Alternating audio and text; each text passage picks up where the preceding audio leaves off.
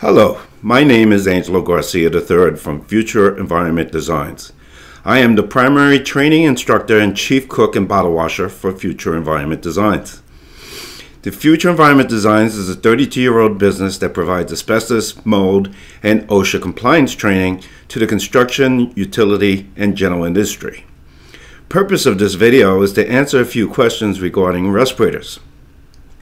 Since respirators are used in various industries as the last level of preventing exposures to various contaminants, many people are not familiar with respirators and the various different types and the hierarchy of their use. One of the first things I want people to realize is that we're not uh, talking about face coverings. Face coverings are not respirators. All right, face coverings is something that the CDC is requesting people to wear at this point uh, during the COVID coronavirus pandemic, and primarily for the purpose of reducing the potential of uh, big droplet dispersal uh, uh in public areas. In areas where people are congregating, like food stores, grocery stores, when they do the shopping, face coverings are being used pretty much like a face shield. It is meant to cover your nose and your mouth so that any big droplets that might be in the air and some of the small droplets might be in the air, if they land on your face, the face covering will basically protect. The other thing face covering is doing is protecting people or preventing people or, reducing the amount of times people touch their face. With a face covering, they're going to reduce the amount of time they're going to touch their face because the, the face covering is there. All right. Now, one of the things about face coverings that I want to cover, um, though it's not part of respirators, is realize that they have to be washed. Once you basically bring them home, they should go in the laundry or they should be washed immediately to clean them uh, so like that one bacteria doesn't build up and two realize if it did protect you against some droplets and stuff those droplets are now on that cloth and you touching the cloth will get the contam- will get that virus on your hands. And now your hands if you didn't wash your hands after you took the respirator off after the face covering off excuse me then you would basically uh, be recontaminating yourself. So that would be another thing you would have to do is you take the face covering off you basically put it in the laundry you go and wash your hands immediately soap and water for 20 seconds and basically make sure your hands are dry all right. So we're not also covering surgical masks. Surgical masks are not respirators. All right. They too are not respirators. Surgical masks, their intended purpose is for fluid resistant and provides the wearer protection against large droplets, splashes, or sprays of bodily or other hazardous fluids and protects the patient from the wearer's respiratory emission. So it protects the patient from the wearer is admission, all right, respiratory uh, admission. So, in other words, that's the reason why the doctors and nurses wear a surgical mask during surgery so that the patient who's open and maybe cut open and exposed, and if the doctor coughs or the nurses cough, none of those respiratory emissions will get on the patient. All right. So surgical masks are not respirators. Again, they're meant to basically deal with these droplets and prevent them from being distributed into the air. N95 uh, N95 is a respirator and is a respirator that has been designed uh, and tested by NIOSH to make sure it does what it says it's supposed to do. So as you can see on this chart, it gives you exact differences between surgical mask and N95 respirators and tells you a little bit about those N95 respirators. When you select a respirator, one of the first things you need to make sure of when we select respirators is that this respirator has been certified by the National Institute of Occupational Safety and Health. Uh, most of us call it NIOSH. It is a federal agency under the Department of Health and Human Services and under the Centers for Disease Control. NIOSH's, NIOSH's job is to, when in regards to respirators, is to test the respirators and make sure that the respirator is capable of doing what the manufacturer claims it can do. So, I'm a say I'm a manufacturer of a respirator and I would say that the respirator is capable of doing uh, 95% of particulate matter, I have to submit that respirator to NIOSH. NIOSH then tests the respirator and certifies that the respirator is capable of doing what I said it's capable of doing. So that is what uh, the purpose of NIOSH is. So if a respirator does not have that certification, you cannot use that respirator in the United States. All right, so in the United States, all respirators have to be certified by NIOSH. So as a manufacturer, I will submit my respirator to NIOSH and get it approved, and then I can sell that respirator as a NIOSH certified respirator. Now, NIOSH has certified a whole bunch of different types of respirators, and they they fall into pretty much two categories. You have your tight-fitting coverings, such as your half mask, your full face respirators, which most people recognize. Obviously, an N95 respirator or a dust mask is another name for this, or filtering face piece respirator, which is what OSHA calls it. All right, and you have a quarter mask, which the quarter mask is the lowest level of protection. You then have your filtering face piece respirators, which are next. Half mask is the next level of protection. Um, and actually, uh, for the purposes of OSHA, a filtering facepiece respirator and a half mask are both certified for assigned protection factors of 10. Though for certain types of contaminants, you cannot use a filtering facepiece respirator, for example, asbestos. Asbestos, you're not allowed to use a filtering facepiece respirator at all. You're only allowed to use a half mask or a full mask respirator. Disposable respirators are not allowed to be used for certain types of contaminants that you may be exposed to. All right, so this is the first first thing you need to know is that you have different types of covering, right? Covering being what's covering the face. So you have the two categories, which the first here is tight fitting, and the second covering is your loose fitting coverings, right? So these are like your hoods, your helmets, and your loose fitting face pieces and full body suits. All right, so these are the next level of protection. They're actually, um, they're actually depending on the type of uh, covering, uh, they may actually be below, uh, between the half mask and the uh, full face uh, tight fitting respirators. So it, it's all about the assigned protection factor for the respirators. Uh, but what happens is with loose fitting coverings, one of the advantages of loose fitting coverings is, is that they do not have to be fit tested.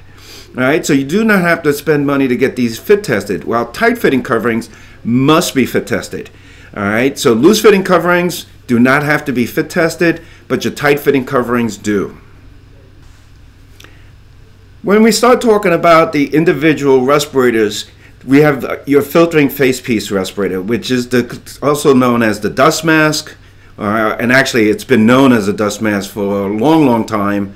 Um, however, uh, back in about 1990s, uh, OSHA changed the name of this uh, respirator from a dust mask to the filtering face piece respirator, or as other people know it, as an N95 respirator.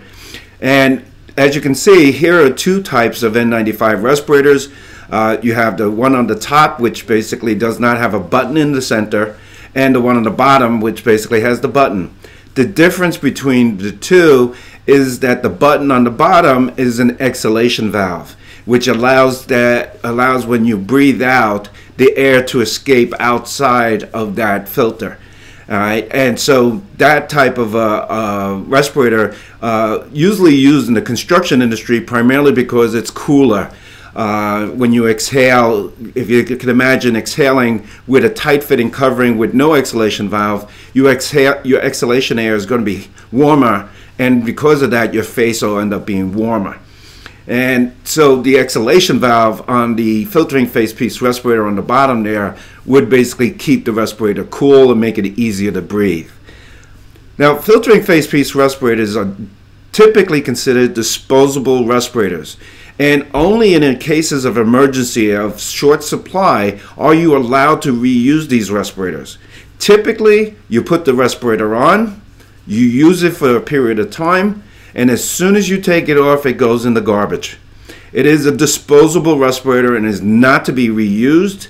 All right, and there are specific ways you have to put the respirator on. All right, uh, you're not supposed when you take it off specifically. You're not supposed to touch the actual face piece. You're supposed to take it off from the rubber bands and take it off of your face with the from the straps that are on the back of the mask, and that's where you're supposed to take the mask off because obviously the filter has collected whatever you were uh, concerned about, and that filter is now has the contaminant on it, and if you touch it with your hand, you're going to get the contaminant on now on your hands. All right. So that's a, filtering face piece respirator. These are typically also called disposable respirators, and that is because as soon as you take them off, they're to be disposed of. For medical purposes, you cannot have the exhalation valve uh, because the exhalation valve would basically create a path, of, uh, would create a way for splashes to get into the mask. Um, so that uh, exhalation valve would not be uh, would not be approved for uh, for hospitals, uh, hospital and healthcare settings. ideally, you should be wearing the the one without the exhalation valve. Air purifying respirators with an, is a respirator with a air purifying filter, cartridge, or canister that removes specific air contaminants by passing ambient air through the air purifying element. All right, so you have a specific cartridge or canister that will filter the air. That cartridge canister is color coded so that people can understand what type of cartridge you're using. So purple magenta is typically the cartridge color that is used for HEPA filters. You then have uh, other filter colors like black is usually for organic vapors, uh, yellow is for acid gases, and there's a whole bunch of different colors and different charts. Um, and again, we're not going to get into that detail here. That additional, this is just to talk about the different hierarchies. But just remember the color of the cartridge uh, or the cartridge you use has to be specific to the contaminant that you're basically wanting to protect the worker from. All right, so you basically don't want to use a particulate filter if you're worried about chemicals. Uh, you need a chemical filter for that. Like uh, if it's organic vapors, you would need a black cartridge.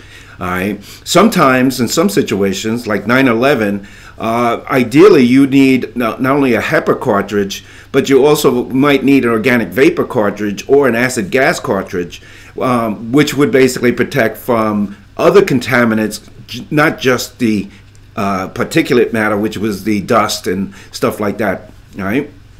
So, uh, so when we talk about air purifying respirators, the, what you're seeing here is a full face air purifying respirator.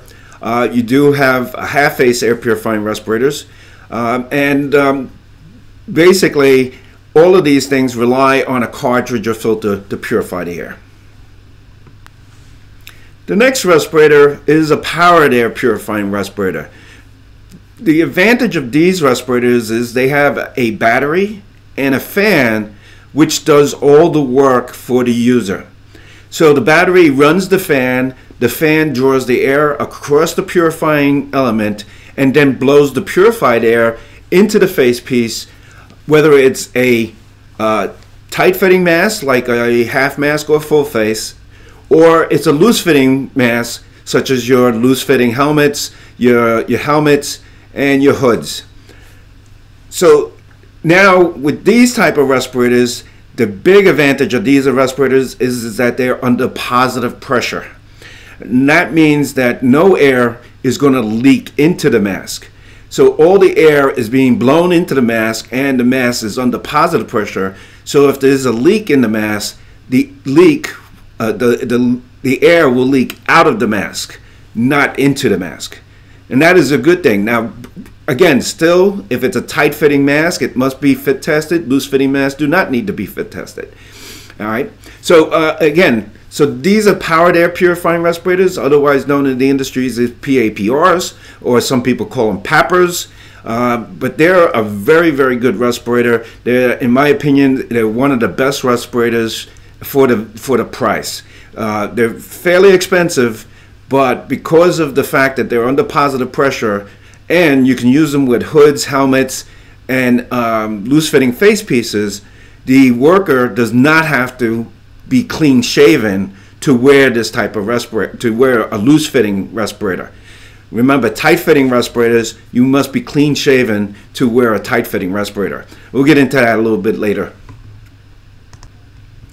So, the next thing we have to decide for air purifying respirators is to decide what type of filter, canister, or cartridge we're going to put on the uh, respirator. All right. So when it comes to chemicals, chemicals are color coded, as I mentioned before, and you need to know what chemical you're going to be uh, trying to protect the worker from. So if you have acetone in the air, you would need a black cartridge or an organic vapor cartridge to protect from acetone. And that would be the cartridge that you would use if you're dealing with chemicals. So chemicals, you have to know what chemical am I exposing the worker to, and then select the filter based on that chemical.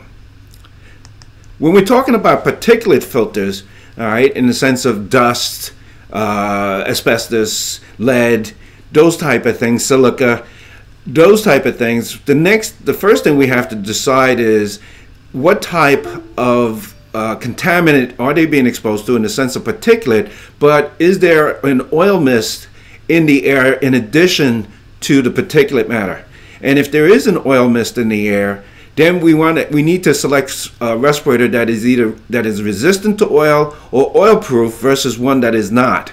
So when we talk about particulate filters, the letter in the front of the filter, N, R, or P, tells you whether the respirator is resistant to oil or not.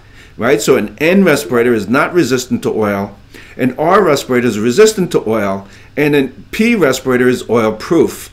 And the difference between an R respirator and a P respirator is, is that the P respirator is allowed to be used for multiple shifts, and there is a process for determining when a cartridge should be used up.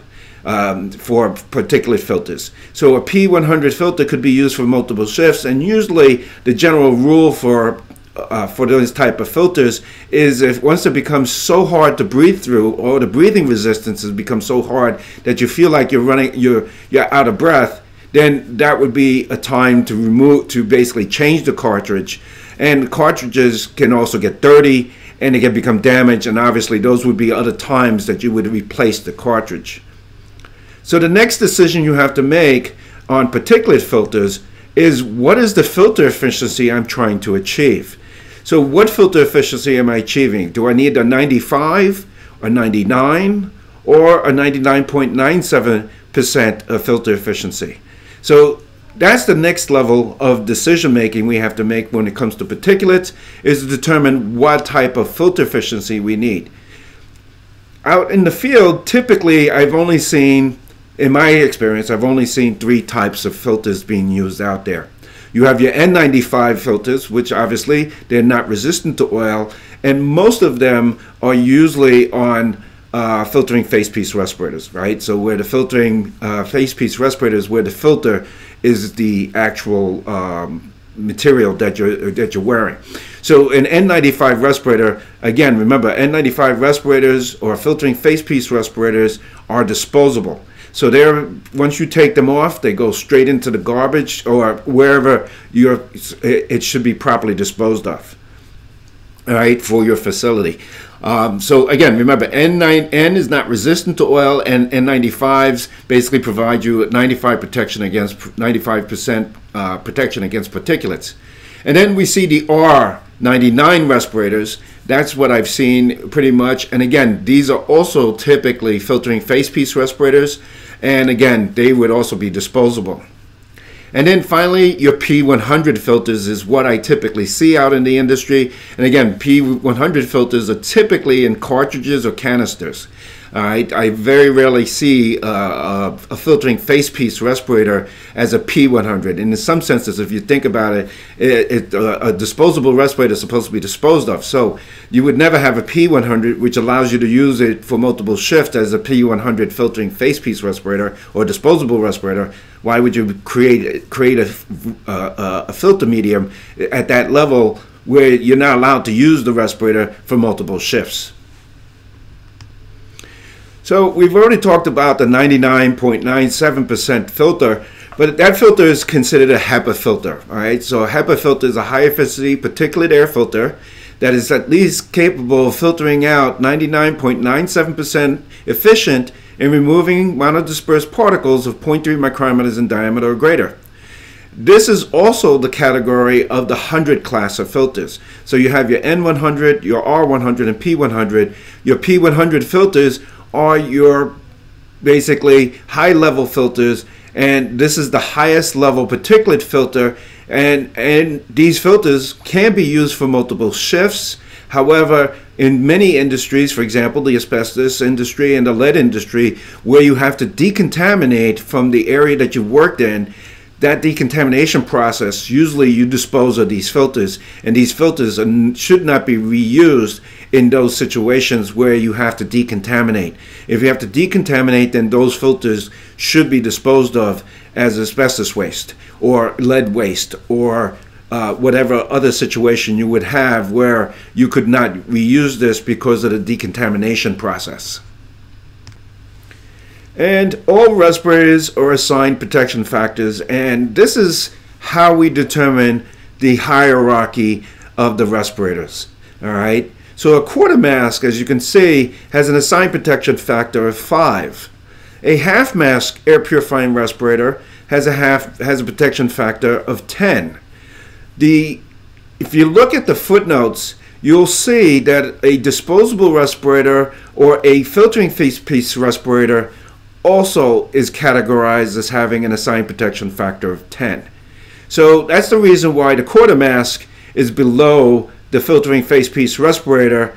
Uh, the good, the advantage of the quarter mask is that it's reusable, but it's a quarter mask, and quarter mask only covers the nose down to the upper, uh, to the bottom lip. This little gap right here, and it doesn't sit on the chin. Um, from from what I've seen, the respirator is very uncomfortable to wear, and typically uh, does not get the best of give you the best of protections, which as you can see from this assigned protection factors that were given to these respirators, uh, the quarter mask is only a five, while a half mask is 10. Uh, obviously, the higher the number, the better protection the respirator gives you right? And so a full face air purifying respirator would give you a, higher protection than a half face air purifying respirator. That's 50. And then you get into your powered air purifying respirators, whether you have a half mask or your full face. Obviously, your full face gives you one of the highest levels protection. As I said before, powered air purifying powered air purifying respirators give you one of the highest level protection for the, what the money can buy. All right, so you can get a really good level of protection from a PAPR and, and as you can see, you, uh, a thousand protection factor means that it'll reduce whatever contaminants are in the air by a thousand.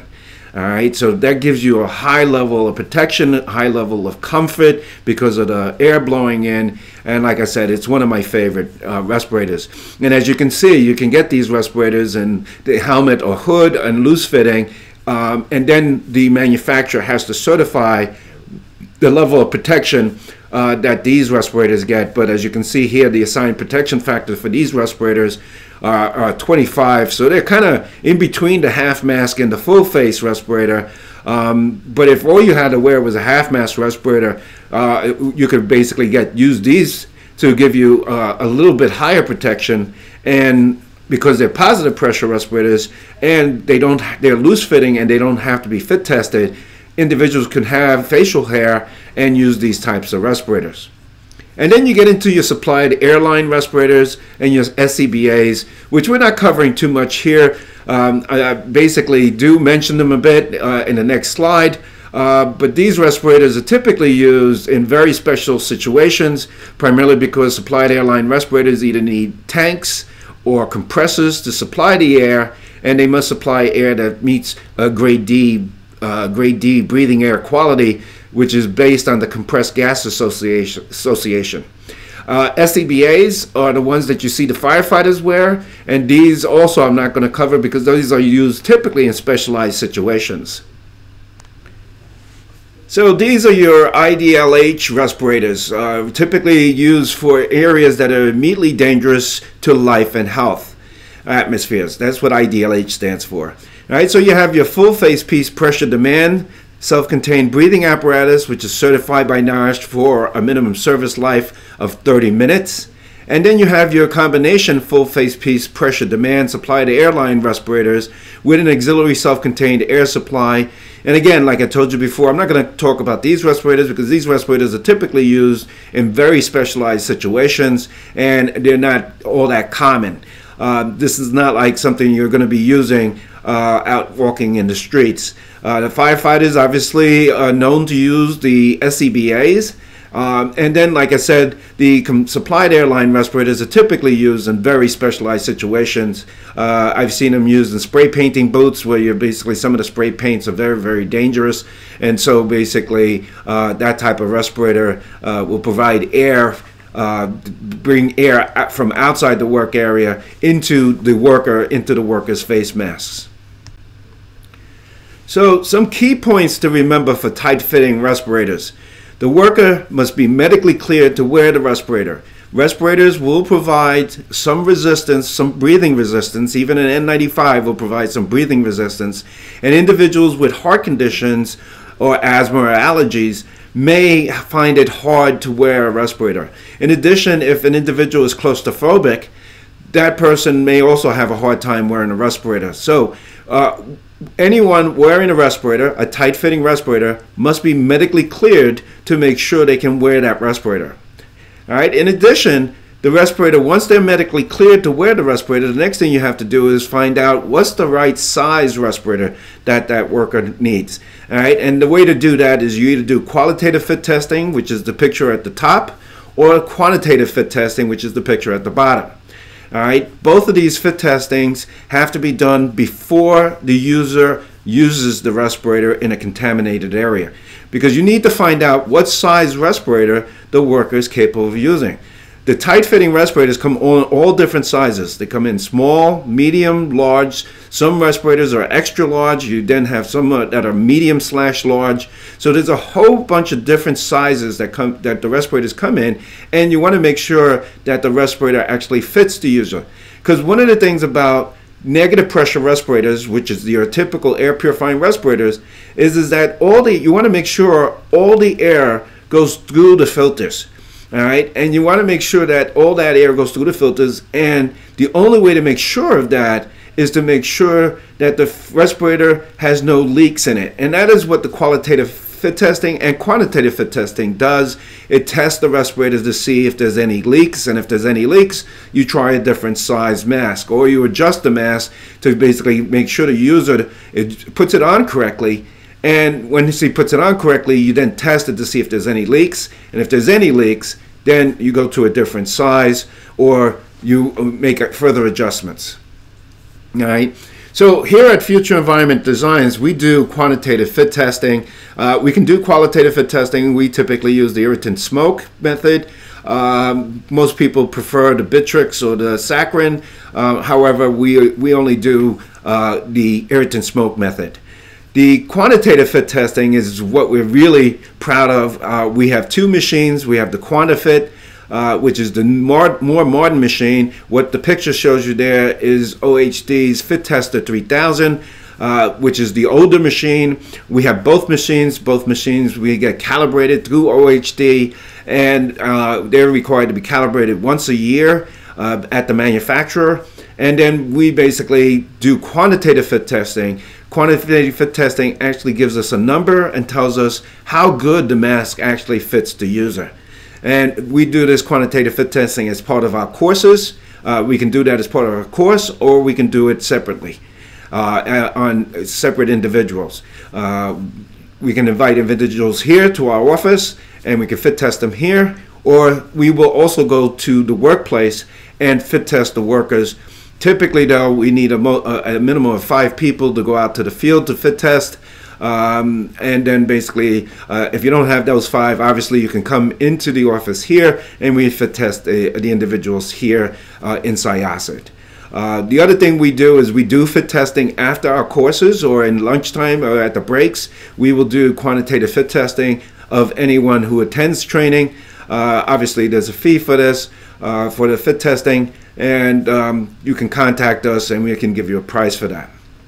All right. So in addition to fit testing, then so once you've fit tested the worker and you've determined the size mask that the worker can use, the next thing, next step is that you have to train the worker, and you have to train the worker on how to use and take care of that respirator and the proper use of that respirator.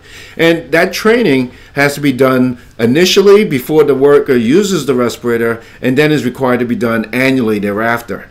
And that fit that training can be done either live uh, in person we do that here at Future Environment Designs. We do uh, instructor-led courses for uh, for um, for respirator training, and we also have an online e-learning course for respirator training. Uh, you can basically take either of those, and that would provide your workers with the training that they need to basically uh, to use a respirator. And then finally, there can be no facial hair that interferes with the face-to-face face-to-face piece seal. All right, so if I'm wearing a tight-fitting mask, I cannot have any facial hair between me and the mask. All right, so tight-fitting masks not allowed to have facial hair. Facial hair creates a path of least resistance into the mask, and hence air will leak into the mask through the facial hair versus going through the filters and that is one of the things we really want to avoid is making sure that basically we have a nice tight seal of the mask on our face while we're wearing the respirator. And one of the things we train in, uh, we do in the training classes is we teach the uh, users of the respirator how to perform a user seal check on the respirator that user seal check has to be done every time you put the respirator on, right? So at this point, realize the individual has been medically cleared to wear a respirator. He has been fit tested to make sure the respirator actually fits him. He's been trained on how to take care and use the respirator. And then part of that training, we then cover how to do the seal check, how to basically make sure you do the positive and negative pressure checks. Both checks are required to be done. Uh, before you go into a work area to make sure that you have put the respirator on properly. So as you can see here, you have a positive pressure check, which is where you're covering over the exhalation valve and breathing lightly into the mask to make sure that the mask is not leaking. And then you do a negative pressure check where you cover over the filters and you inhale and hold your breath. And in that holding of the breath, if the mask stays collapsed on your face, you have passed that seal check. If it starts expanding, then basically you have not passed it and you need to adjust the mask to make sure you put it on correctly.